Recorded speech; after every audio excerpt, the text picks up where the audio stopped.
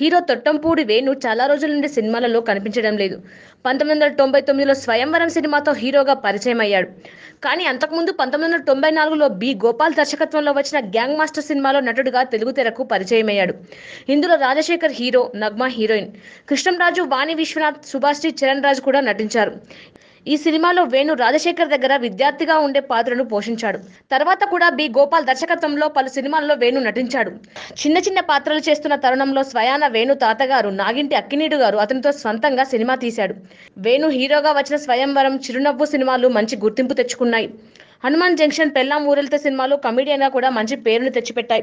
కళ్యాణ్ రాముడు ఖుషి ఖుషిగా యమగోళ ఇవి వేణు కెరియర్లో మంచి విజయాన్ని అందుకున్న సినిమాలు. అతనికి పెద్ద విజయాన్ని అందించిన సినిమా గోపి గోపిక గోదావరి.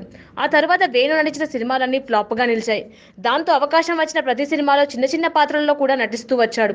ఎన్టీఆర్ దమ్ము సినిమాలో ఒక పాత్రలో నటించాడు. అది కూడా ఫ్లాప్ అవడంతో సినిమాలకు దూరంగా ఉంటున్నాడు. హీరోగా వేణు తన కెరియర్ని కొనసాగిస్తున్నప్పుడు అతనికి డబ్బింగ్ ఎవరు చెప్పారా అని అంతా అనుకునేవారు. సినిమాలలో వేణుకి ఉన్న వాయిస్ చాలా మంది హీరోలకు కూడా వినిపించేది. అందుకే అతనికి డబ్బింగ్ ఎవరు చెప్తున్నారో అంటూ సందేహం వ్యక్తం చేసేవారు. నిజానికి వేణునే చాలా మంది హీరోలకు డబ్బింగ్ చెప్పేవాడు. వానా సినిమాలో సుమన్కి తొట్టి గ్యాంగ్లో ప్రభుదేవాకి డబ్బింగ్ ఇచ్చాడు. ఇలా ఇప్పటికీ కొంతమంది నటులకు డబ్బింగ్ చెప్తూనే ఉన్నాడు. వేణుకి పలు వ్యాపారాలతో పాటు ఒక డబ్బింగ్ స్టూడియో ఉందని అంతా చెప్పుకుంటారు. ఈ వీడియో మీకు నచ్చితే ఓ లైక్ కొట్టండి. మీ ఫ్రెండ్స్కు షేర్ చేయండి.